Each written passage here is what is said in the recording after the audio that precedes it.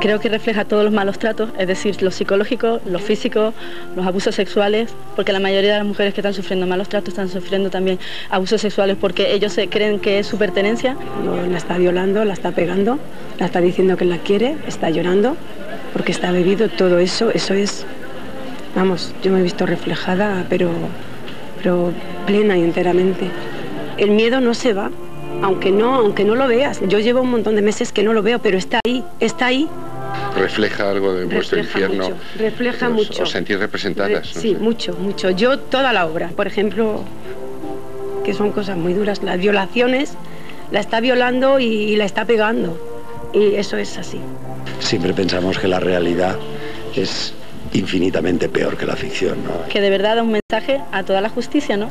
Que de verdad que sean conscientes de que, que está pasando eso y que son criminales.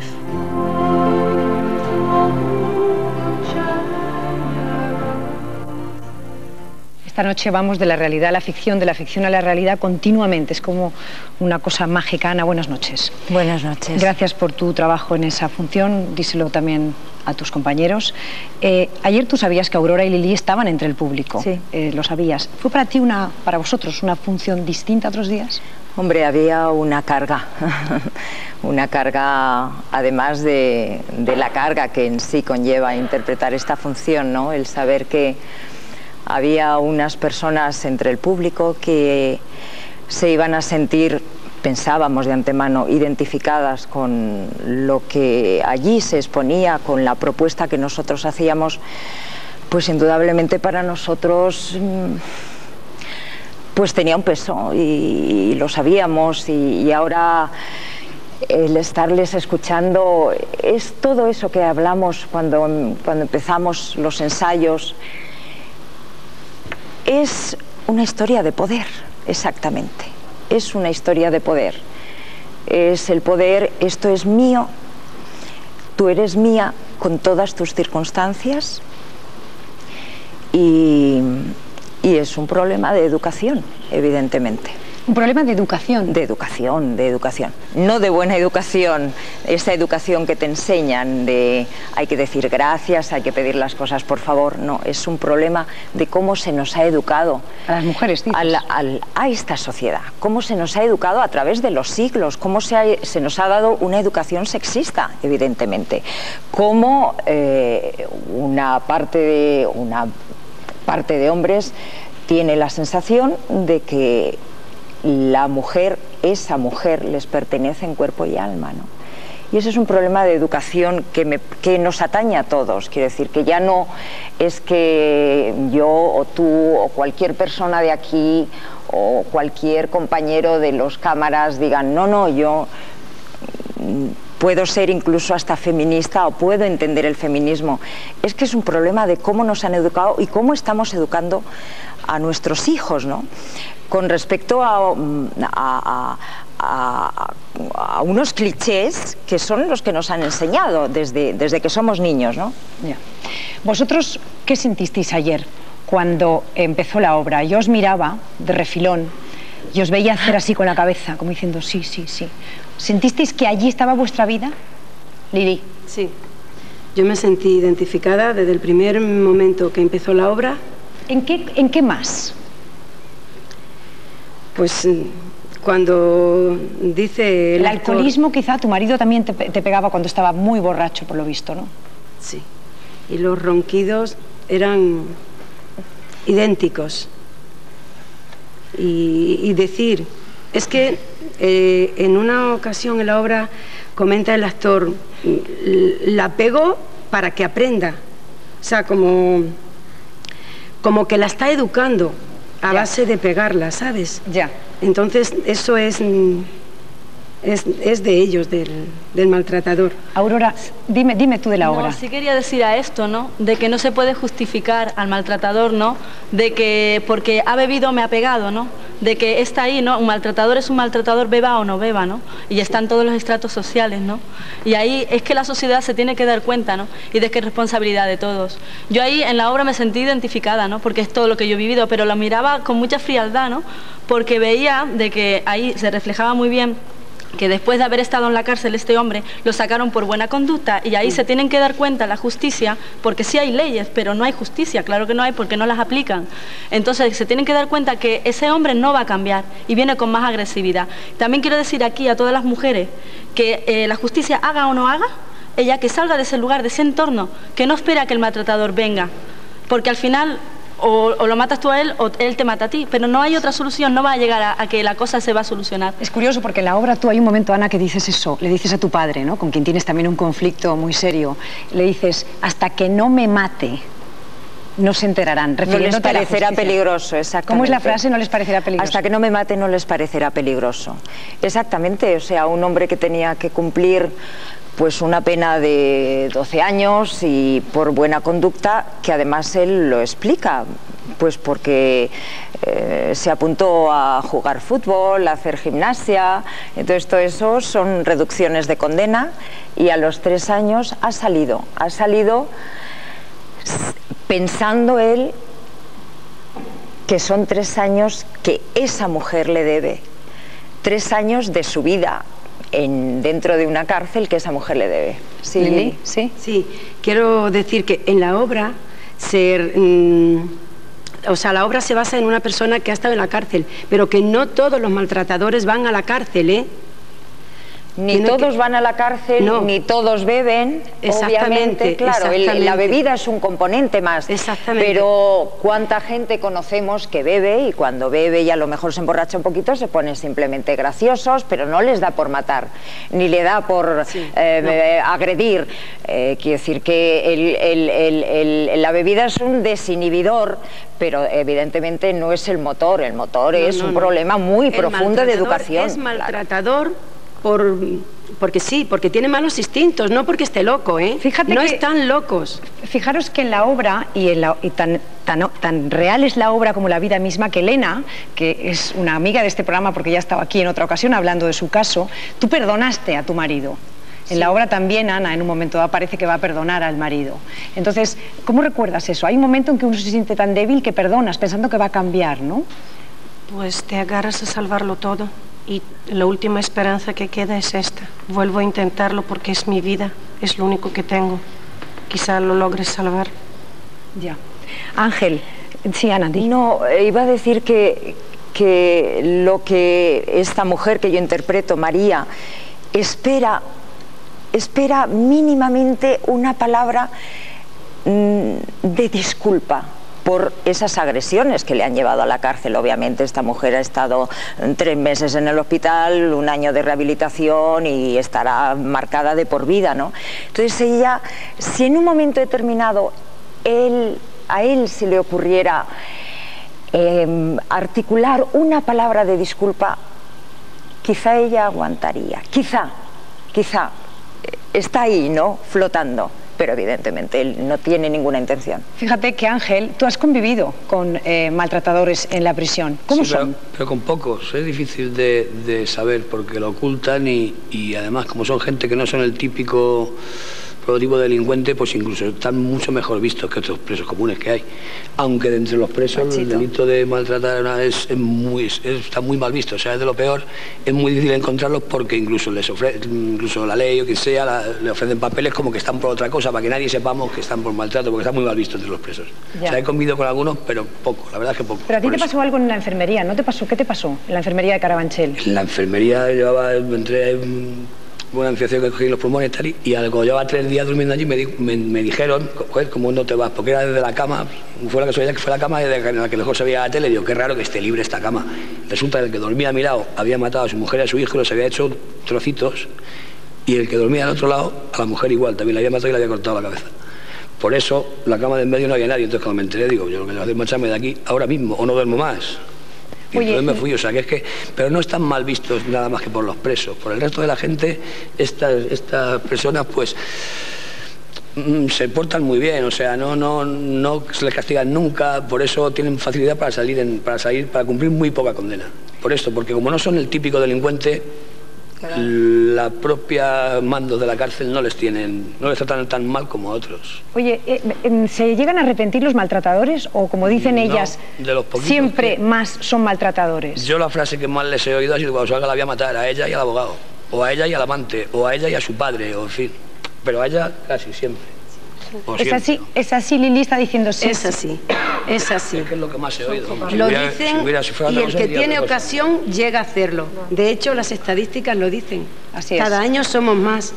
Vamos a... Y el que no lo hace es porque no tiene ocasión de hacerlo. Este, este hombre, esta grabación que tenemos de este eh, maltratador tiene algunos momentos más que es eh, importante escuchar para darnos cuenta hasta qué punto, eh, qué es lo que hay en esa cabeza. Vamos a escucharlo.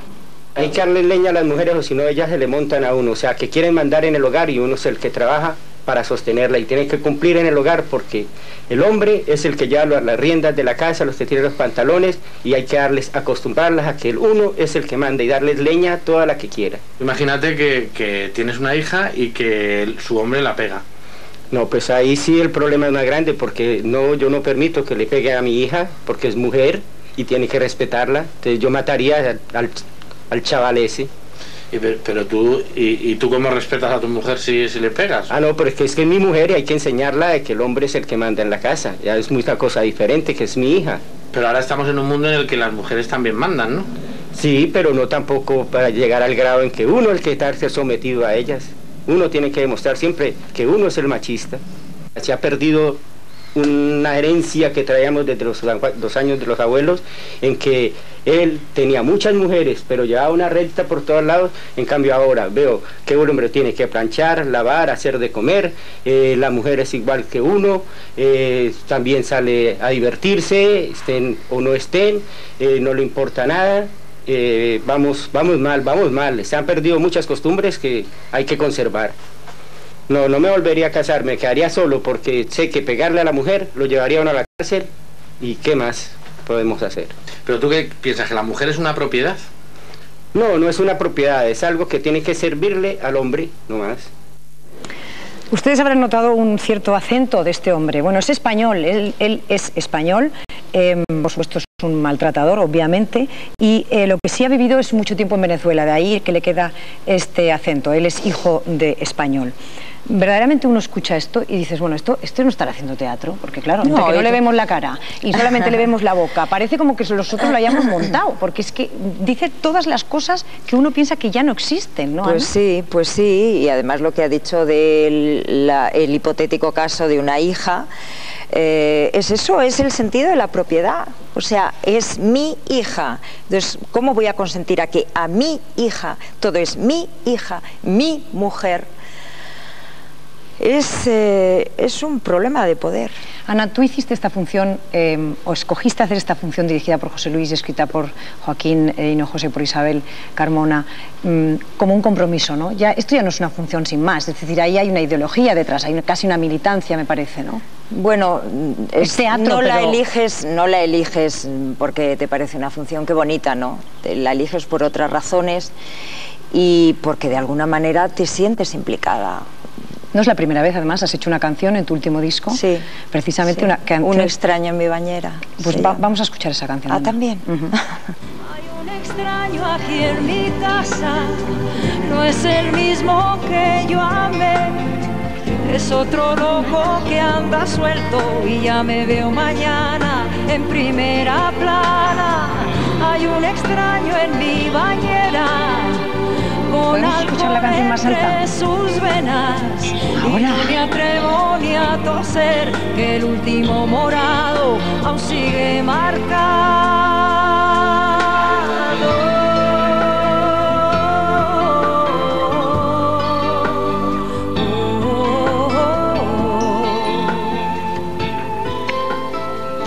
Canciones, obras de teatro, todo sirve para que vuestra causa sea conocida. Una causa que hasta hace muy poquito tiempo era oculta. Lili, tú has vivido 28 años con un maltratador y seguramente ahora te parece casi imposible poder explicar tu historia, ¿verdad?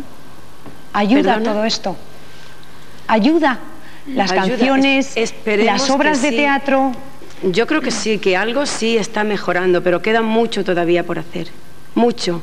Hay muchas mujeres todavía sufriendo malos tratos, pero además porque, porque ellas mm, piensan que es su obligación. Todavía hay mujeres que piensan así. Nosotras, mm, la obra refleja... Lili, ¿cuándo, ¿cuándo dijiste basta?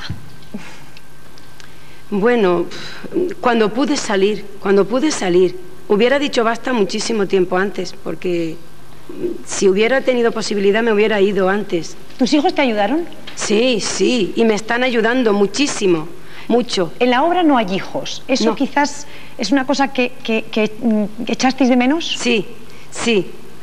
Eso fue lo que echamos de menos, sí. Es curioso, ¿no? O sea, esa... Es una decisión que esta mujer toma cuando se da cuenta de lo que va a ser su vida en el futuro.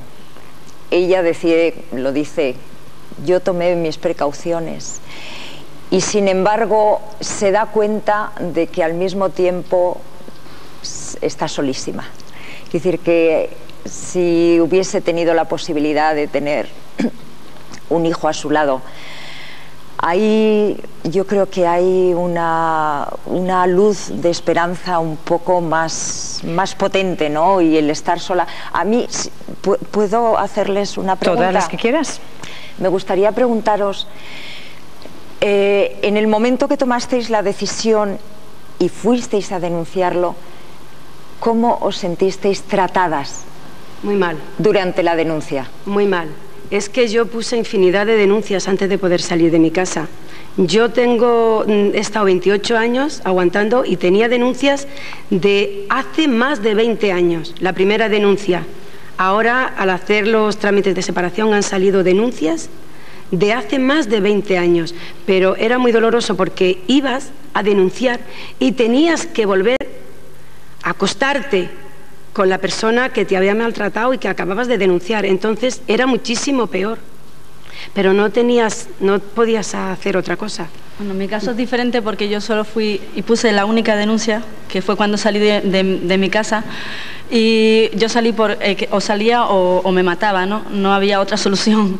Entonces, eh, yo era el momento tan trágico que estaba viviendo que no, era fría, ¿vale? Cuando estabas poniendo la denuncia, pero pero mm, yo decía, o es que salgo, sean las circunstancias que sean que me vayan a venir, tengo que salir de aquí. Ya no me importaba si eran fríos, no eran fríos, eran cariñosos o no. Tenía que salir y tenía, ya no podía estar más en mi casa, entonces tenía que salir, adelante, ¿no? ¿Tu, marido? Además con los niños pequeños. Una cosa, eh, Mercedes, que quería decir aquí, ¿no? Para todas las mujeres, porque está muy bien que se hagan programas de malos tratos, que se diga cómo es maltratador, qué pasó, todo esto, ¿no?